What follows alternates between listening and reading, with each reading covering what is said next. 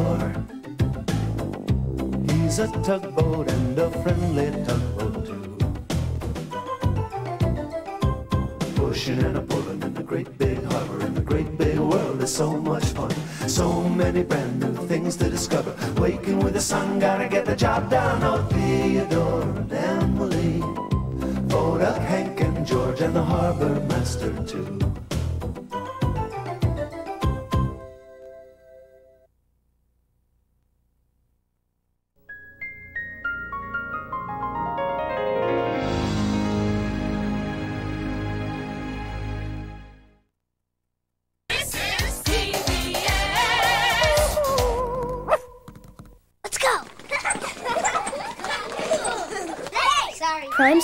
Proud to support Theodore Tugboat and all PBS programs which help children get and stay ready to learn. Theodore. He's a tugboat and a friendly tugboat too. A friendly tugboat too. Oh, Theodore likes to do the things that friendly tugboats do.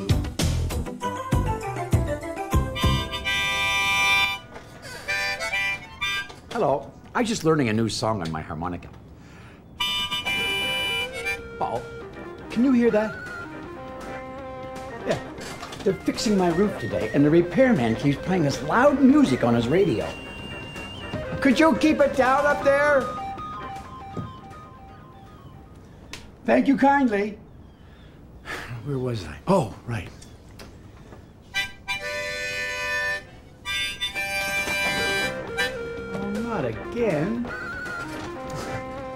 Already asked him once to stop, but he won't listen to me.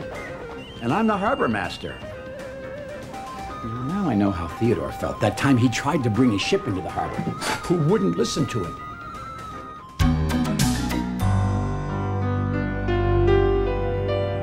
One fine morning, Theodore was on his way to the edge of the harbor.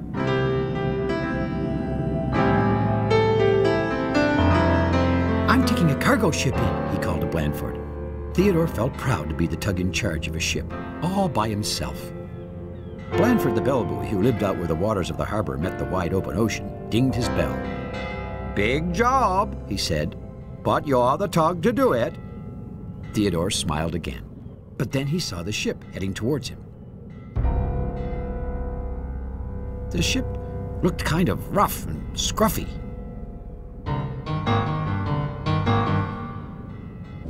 And his cargo looked like it had been just thrown all over his deck.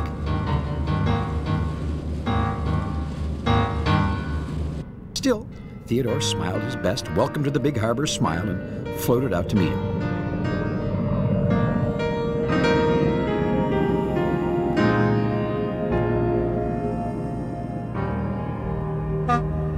Hi, I'm Theodore, he called. What's your name? Cabot, said the ship. Theodore moved closer to have a better look at Cabot. It seemed like his cargo was about to fall right off his deck. Was there a big storm out on the ocean? Theodore asked. No, replied Cabot. Why? Well, your cargo was kind of messy, said Theodore, trying to be polite. I like it that way, said Cabot. Theodore began to motor around to the back of Cabot.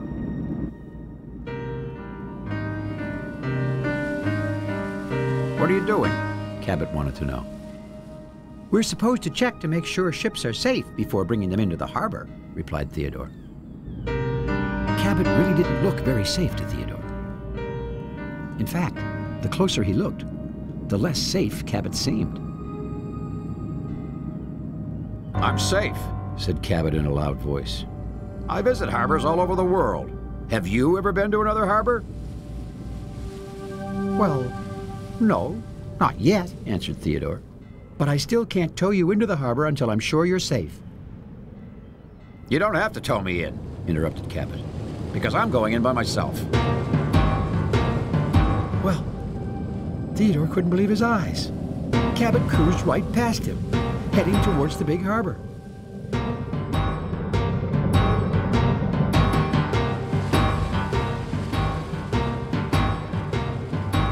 Hurried after Cabot. You better let me button my tow rope onto you now, tooted Theodore. We're almost in the harbor. I want to go in by myself, insisted Cabot. It's very busy today, explained Theodore, still trying to be polite. And you've never been here before. I know how to go into harbors by myself, snorted Cabot. But you can't dock yourself, continued Theodore. It's not safe.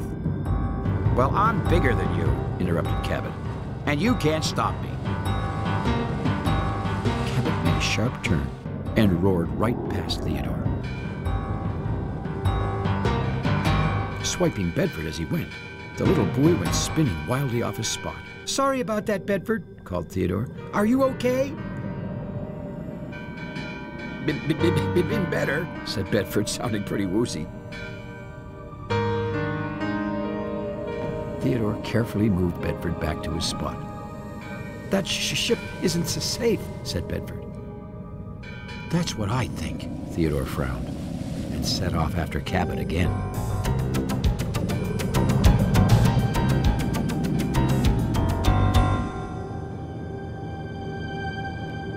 Theodore caught up with Cabot, heading past the oil refinery. Prepare to take my tow rope, Theodore said sternly. Just then, he heard a loud splash.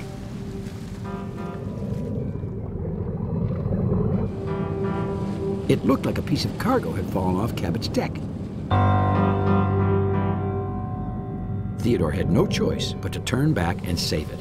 Can't stop me, hooted Cabot. Well, Theodore was beginning to think that Cabot was right about that. And he started to think that if he didn't do something to stop him, there would be a lot more trouble than some overboard cargo and a bumped bell buoy. But he was also starting to wonder if there was anything he could possibly do about it.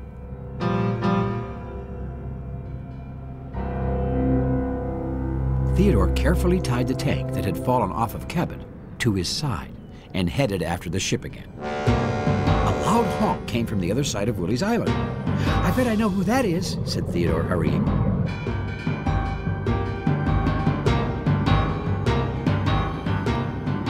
He went that way, Bedford shouted.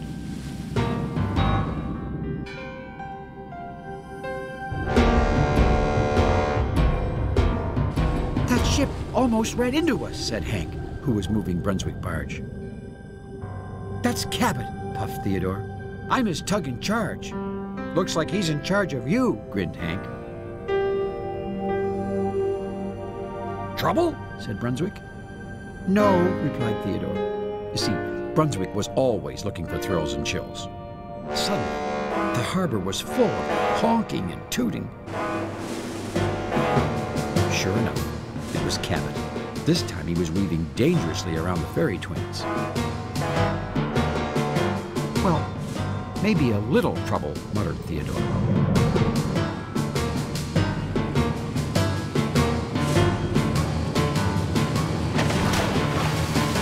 Stop me, little tuggy, shouted Cabot, dropping more cargo overboard.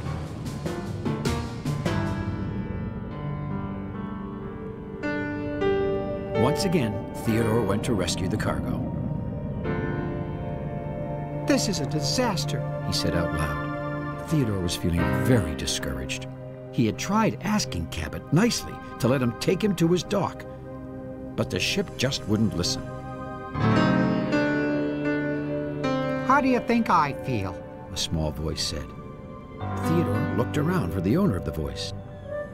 Over here, said the voice. Beside you. The tank was talking to him.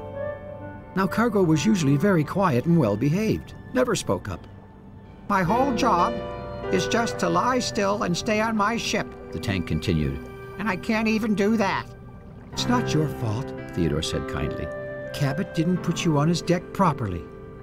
You're certainly right about that. I'm supposed to be the tug in charge, but, well, he won't do anything I say, added Theodore. Theodore began to collect the cargo. He never does what any of us say, another voice called out. Now, more of Cabot's cargo was talking to Theodore. This time it was a big wooden crate. If you tell him to go slow, said the crate, he speeds up. And if you tell him to tie you on tighter, he makes you looser, said the tank.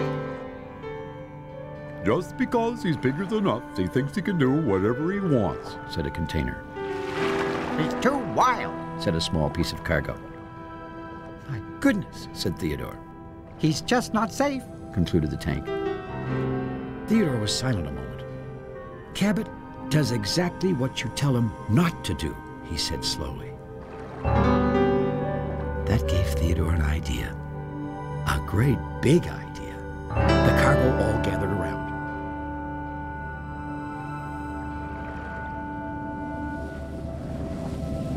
I'm going to get you all back where you belong, he told the cargo.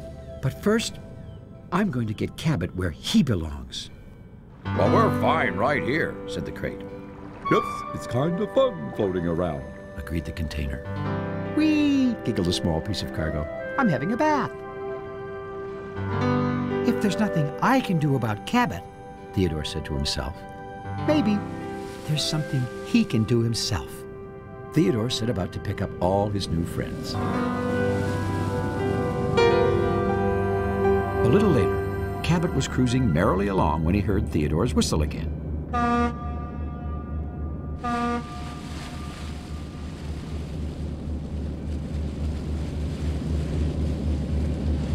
Try and catch me, shouted Cabot.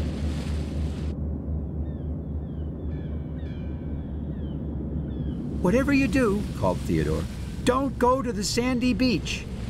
Where's this beach? said Cabot. Through the bridge at the end of the harbor, answered Theodore. But you really shouldn't go there. It's not safe. Well, sure enough, Cabot began to cruise right under the bridge. Just watch me, he shouted at Theodore.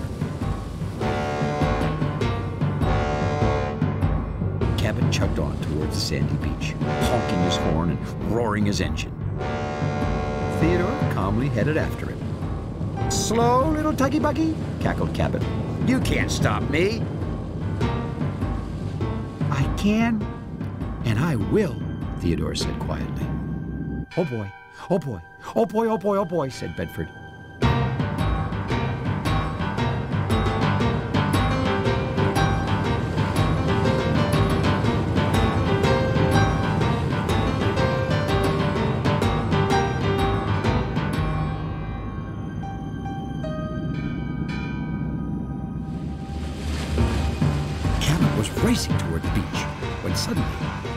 Heard a scraping sound down below his hull. And the next thing he knew, he wasn't moving at all. What happened? He cried out. You didn't let me finish telling you why it's not safe here, replied Theodore. The water's not deep enough for ships. You're stuck on the bottom. Theodore moved into position to tow Cabot.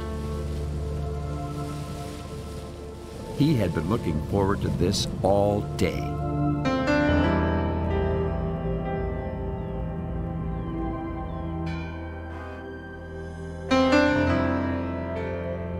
Pretty soon, Theodore got Cabot unstuck and towed him to his dock, backwards.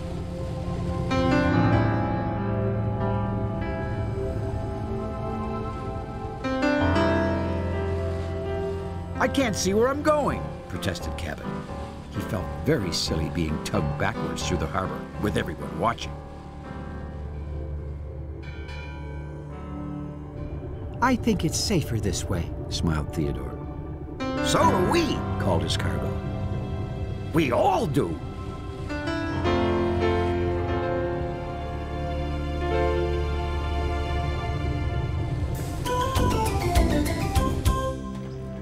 Visits from time to time, and I must say, I think he's much better behaved now.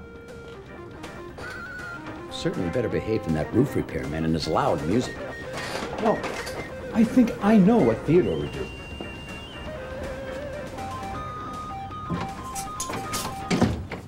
There, that's much quieter. Thanks for visiting us here in the Big Harbor, and we'll see you all again next time.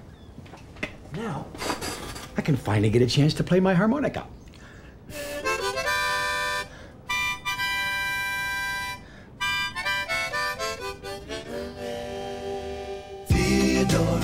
There's another story coming right up, and you can always learn more about Theodore Tugboat on the internet. Find us through PBS Online. Pushing and a pulling in the great big harbor in the great big world is so much fun. So many brand new things to discover. Waking with the sun, gotta get the job done. Oh, Theodore and Emily, Foduck, Hank, and George, and the harbor master too.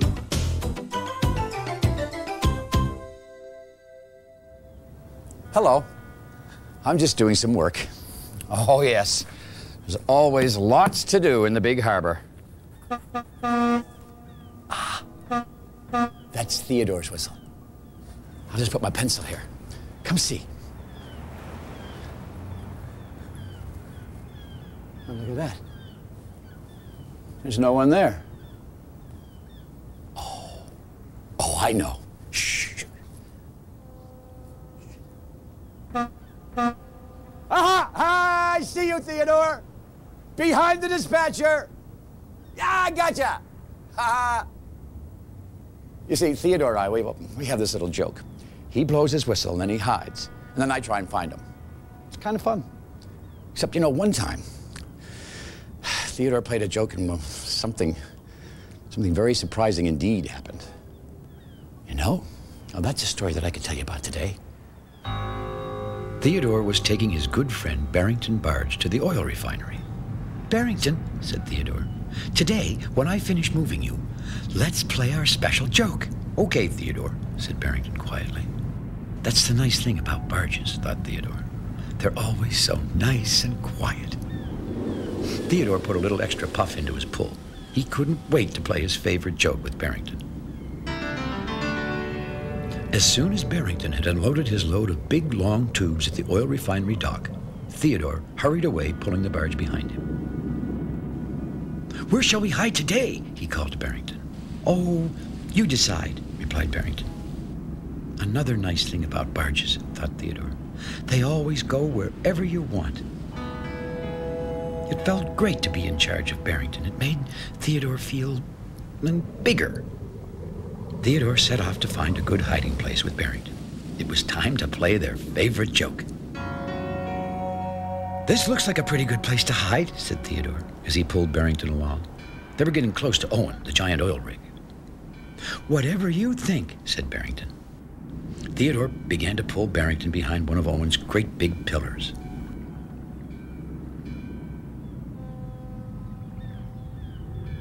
Owen, whispered Theodore, don't tell anyone we're hiding here.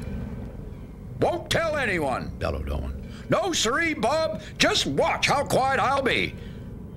See, Owen is a very noisy oil rig. Theodore and Barrington waited with big, sly grins. And sure enough, along came Petra, the pilot boat. Theodore and Barrington held their breath best part of the joke was coming right now. Petra knew that Theodore and Barrington always hid when they were finished work. It, it, was their special joke. I wonder, said Petra out loud, where can Theodore and Barrington be? Petra looked this way and that way, but she didn't seem to see them. Owen, said Petra, have you seen those two?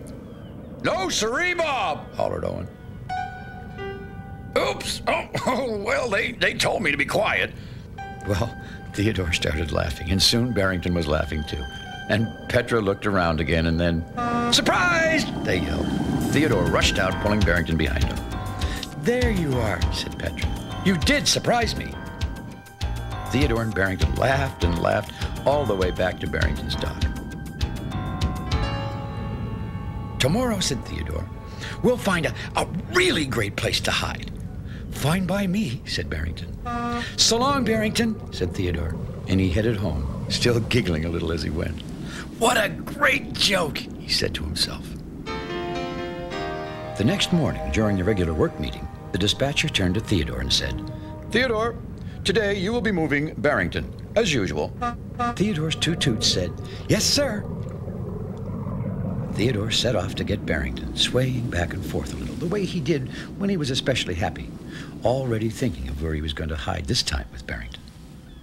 I bet this'll be the best day I've ever had, he said to himself. Now, as soon as Barrington had unloaded his big long tubes at the oil refinery dock, Theodore said, Let's hide. Okie dokie, said Barrington.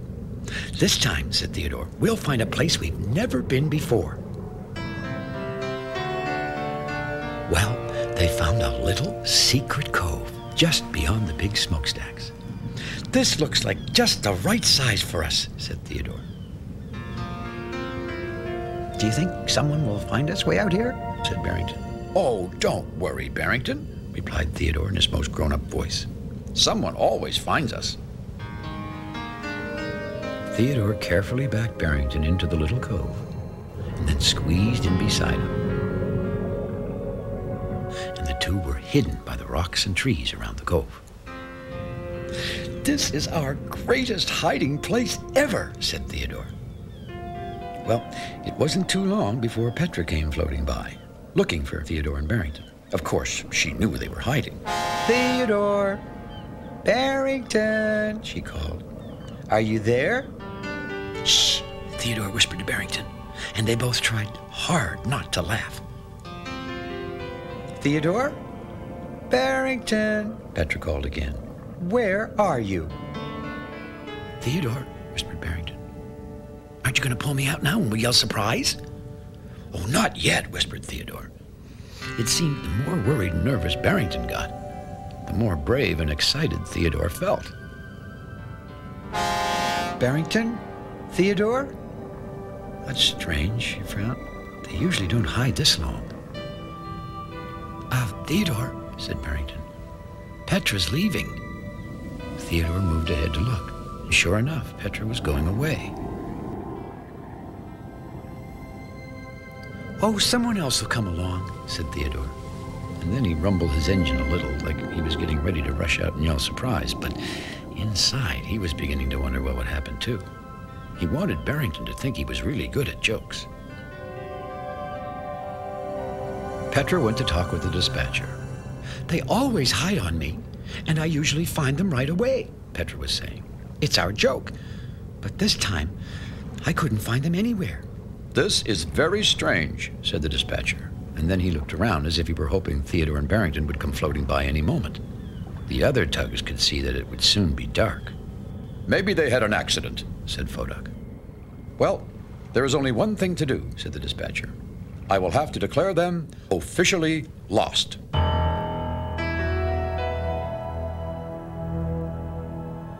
I'll ask Constance, the Coast Guard ship, to search for them. Everyone was very quiet after the dispatcher said that. They knew that sending an important ship like Constance to look for Theodore and Barrington meant that this was now a very serious matter. Foduck, as you are the safety tug, said the dispatcher, please go with Constance and help her search. Proceed immediately. Foduck whistled his most serious whistle and set off to meet Constance. I hope Theodore and Barrington are all right, said Hank. All the other tugs were hoping the same thing. It was now almost dark. The small cove where Theodore and Barrington were hiding was full of long shadows and strange night sounds. Now, Barrington, being a barge, is usually nice and quiet. How long do you think we'll have to hide? said Barrington in a very quiet voice. Not long, I think, replied Theodore. Until tomorrow? asked Barrington. Mm-hmm. Maybe, answered Theodore. Theodore? said Barrington. Yes, Barrington. Is tomorrow a long time? I hope not, Barrington, said Theodore. I hope not. Both boats shivered. A cool nighttime breeze was beginning to blow. Just then, Barrington saw something.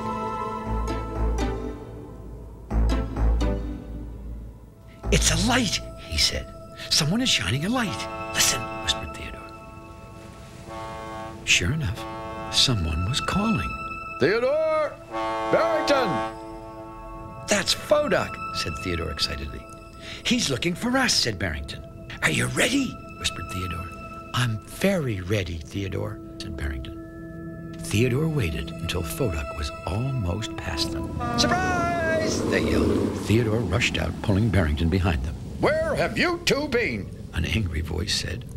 Theodore and Barrington looked around, and there was Constance, the Coast Guard ship, and she was shining her biggest searchlight right at them. Constance, said Theodore, what are you doing here? Everyone has been looking for you, said Constance. Do you know how worried we all were? We were hiding, said Barrington with a great big grin.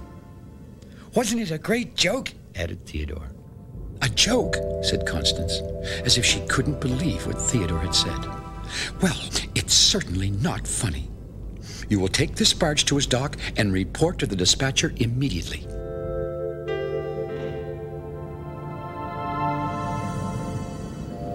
And with that, Constance floated off with Foduck.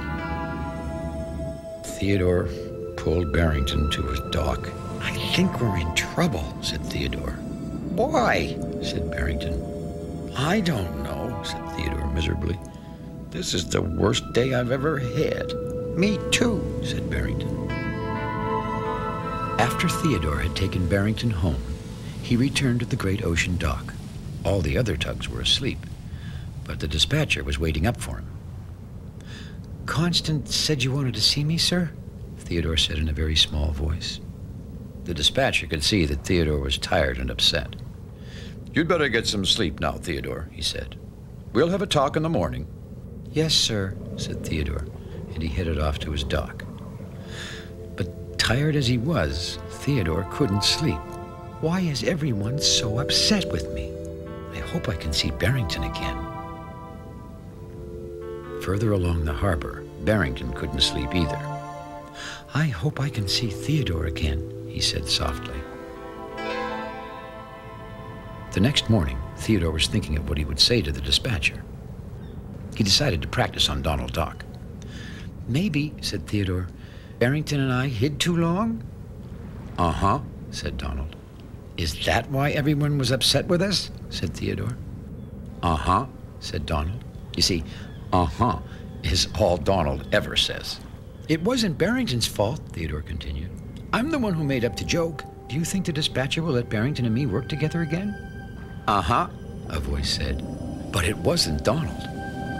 Theodore slowly turned and saw that the dispatcher was looking at him. You mean, said Theodore, I can work with Barrington? Theodore, said the dispatcher, the reason we were all so upset was, well, we didn't know you were only playing a joke. You were gone so long we all thought you were lost. I guess a joke isn't funny if it makes everyone worry, said Theodore sadly. But can I work with Barrington again? Well, maybe my good friend Donald Dock has something to say about that, said the dispatcher with a smile in his voice. Uh huh, said Donald.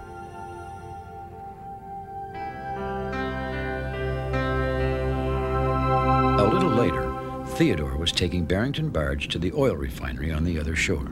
It sure is a great day, said Theodore. The best day ever, said Barrington. You know, Theodore and Barrington sure have a lot of fun working together. Well, speaking of work, I better get back to mine. Thanks for visiting us here in the Big Harbor. And we'll see you all again next time. Now, where did I put my pencil? Do you think someone is playing another joke on me? Oh, no. I... yep. Looks like I kind of played a joke on myself, huh? Bye bye. Theodore. He's a tugboat and a friendly tugboat too. A friendly tugboat too.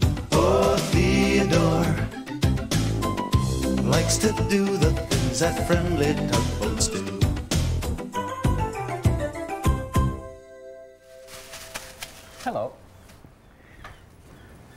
Isn't this a beautiful castle? I'm going to put it in the bottom of my fish tank. My friend Rodney has one just like it in his fish tank. That's where I got the idea. Except my castle is much bigger than Rodney's. And when he sees it, he's going to think that my tank is the best. I'm going to invite him over to see it.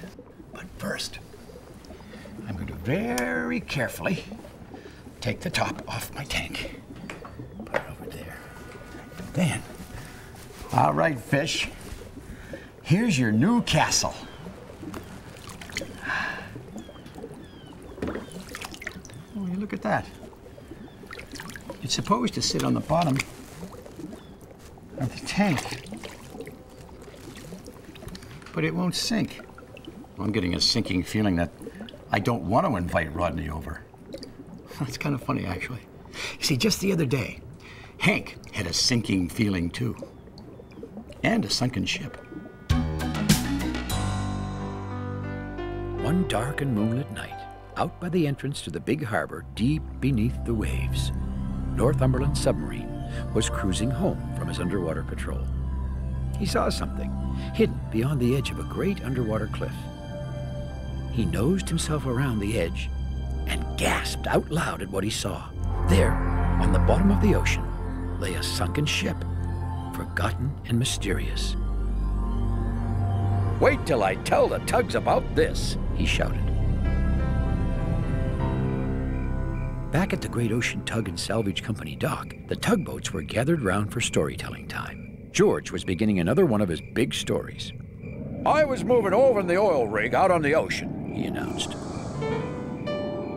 George boomed his engine just to make sure everyone was listening to him very carefully. Suddenly, I saw a giant iceberg coming straight for us. The tugboats all moved a little closer to hear every word. How big was the iceberg? asked Foduck. Oh, big as a building, boomed George. Hank squirmed his way into the circle. I was moving a barge once, he said in his biggest voice. Yes, Hank? asked George. And I saw a, a, a bumper in the water coming straight for us.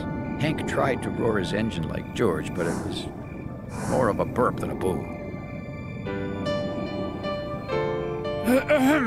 he said, clearing his throat. The, the bumper was as big as a, as a... As a bumper? suggested Foduck. I... I guess so, said Hank quietly. Anything else, Hank? asked Emily. No, said Hank. So, anyway, there I was, said George, continuing his story. Hank looked around at the faces of the other tugs, all smiling at George. I wish I had a better story to tell, he said to himself. No sooner had Hank said that when a voice shouted, Guess what I found? Northumberland submarine had popped up beside the tugs. A sunken ship, he shouted. Well, that is very interesting, said Foduck. Yes, tell us about it, Northumberland, smiled Theodore. The tugboats all moved very close to hear every word. Northumberland began to tell him about the sunken ship. Even the dispatcher turned to listen. As Hank listened too, he began to grow more and more excited. A sunken ship, he said to himself. If only I could bring that ship back up.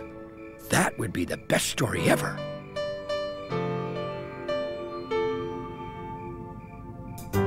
Bright and early the next day, before the other tugboats were even awake, Hank quietly slipped away from the great ocean dock. He hurried over to the Navy Yard, where he found Northumberland, fast asleep, of course. Northumberland always slept all day and cruised under the ocean at night. Northumberland! Northumberland! whispered Hank. Wake up! Wake up! He gave the sub a little nudge just to get things going. Huh? said Northumberland groggily. Is it nighttime already? Northumberland, said Hank. Can you show me where the sunken ship is, please? Can you, Northumberland? Please. Northumberland decided that the only way he was going to get any sleep was to show Hank where the shipwreck was. Oh, this will be a great start to my story, Hank said to himself. Let me see. I followed Northumberland out of the harbor. Hank was already practicing the great story he was going to tell the tugs that night about raising the sunken ship. It was cloudy. The water was very, uh, was very uh, watery.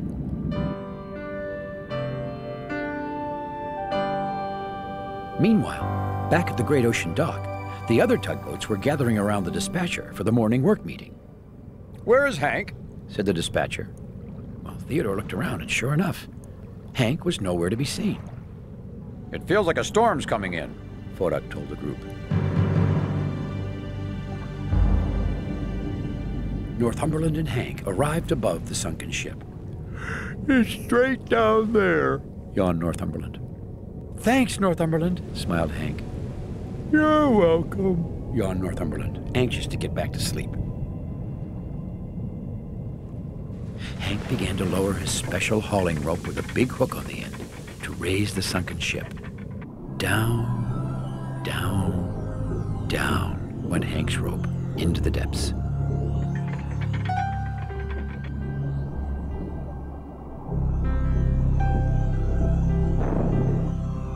He moved his hook this way, that way, and that way again, trying to snag the sunken ship. Got it, said Hank finally. He made his toughest tugging face. One, two, three, heave! Oh, this ship is really big, Hank said out loud. I, I bet it's bigger than a than a bumper. No, no, a building. No, no, bigger than a um, well, whatever's bigger than a building. Hank didn't notice, but the wind and waves were really beginning to blow and batter him. The storm had arrived.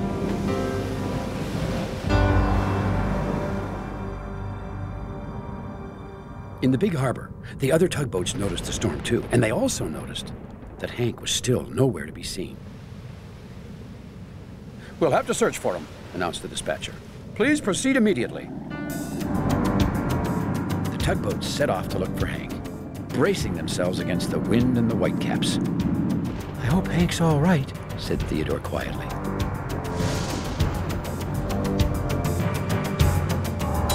Hank was swinging and swaying this way and that in the storm. While down below, his hauling rope was swinging and swaying too, right around the sunken ship's mast. Hank tried to raise the sunken ship again, but it seemed his hauling rope was stuck on something. Are you stuck there, boy? A voice came hollering out of the storm. Hank turned and saw the little cable ship. No, he hollered back. You don't need a tow or not, called Digby. I'm fine, shouted Hank. He wanted this to be his adventure and not Digby's. Well, am I stuck then? Digby went on. No, shouted Hank. Good, boy. Oh, good, said Digby. Then I'm heading home. Only mad boats and barnacles stay out in a big blow like this. Hank smiled to himself. A big storm was just great for his story, and this was getting to be a really big storm. Suddenly, his engine quit. Hank had been working so hard trying to raise that sunken ship that he had used up all his oil. Hank saw that the storm was pushing him towards the coast, and he was attached to the ship down below, just like a balloon on a string. Wait till I tell everyone about this, he crowed. I bet those rocks are as big as a bumper. No, a building. No, well, whatever's bigger than a building. Anyway, he went on, they sure are bigger than me. Then Hank had a thought, a terrible thought. I think, he told himself, I think I'm going to crash into those rocks.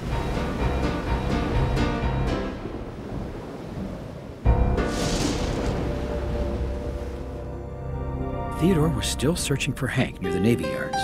It was almost night, and he knew finding his friend in the dark would be even more difficult. Northumberland was just waking up, ready for another night under the ocean. Did Hank raise that sunken ship? He yawned at Theodore. Sunken ship, repeated Theodore. I wish I was home in my dock listening to my story right now, Instead of still being in my story. One big wave would be all it took to dash him into the rocks. Just then, a faint light pierced the gloom. At first, Hank thought he was seeing things. But then, Theodore appeared through the dark, and Northumberland was with him. Hank blew his whistle as loud as he could. Over here! Help! Theodore! he cried. Theodore shouldered on through the storm. My rope is stuck, groaned Hank. Down there! Hold steady, Hank, shouted Theodore. Finally, he was close enough to his friend to button on. Thanks for coming, Theodore, said Hank. I'm really glad to see you. Northumberland dived. Down, down, down went the sub. Soon he could see the trouble. Quickly, he began to untangle Hank's hauling rope. Hank's rope came free so suddenly that the two tugs were almost jerked into the rocks. But Theodore held on, and they were safe.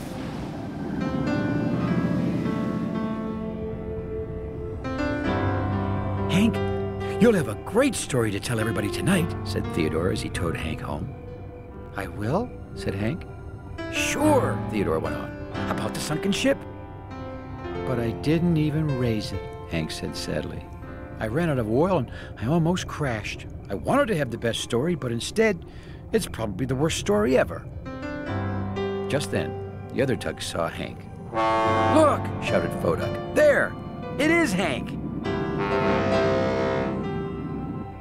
Theodore was helping him towards the dock. Everyone was overjoyed to see Hank safe and sound again. Tell us what happened, Hank, said Emily. The tugboats all moved very close to hear every word.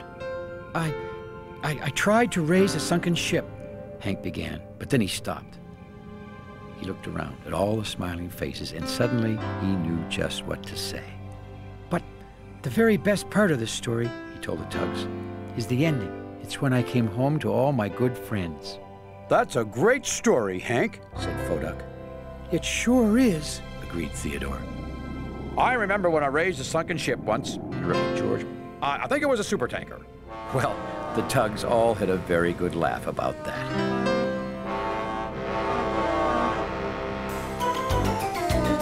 Hank's story has helped me make up my mind. Even if I can't get my castle to sink, I'm going to invite Rodney over to see my fish tank. May not have a big castle, but Rodney will still like me just as much. Right now, though, I think I better take this castle back to the pet store. Thanks for visiting us here in the Big Harbor. We'll see you all again next time. I'd look pretty silly with a castle on my head, wouldn't I? Bye-bye. Theodore. He's a tugboat and a friendly tugboat too. A friendly tugboat too. Oh, Theodore likes to do the things that friendly tugboats do.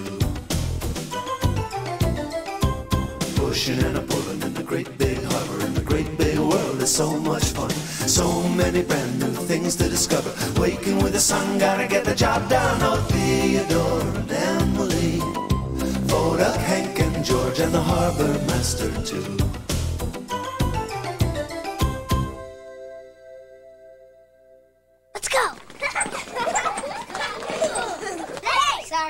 Star is proud to support Theodore Tugboat and all PBS programs which help children get and stay ready to learn.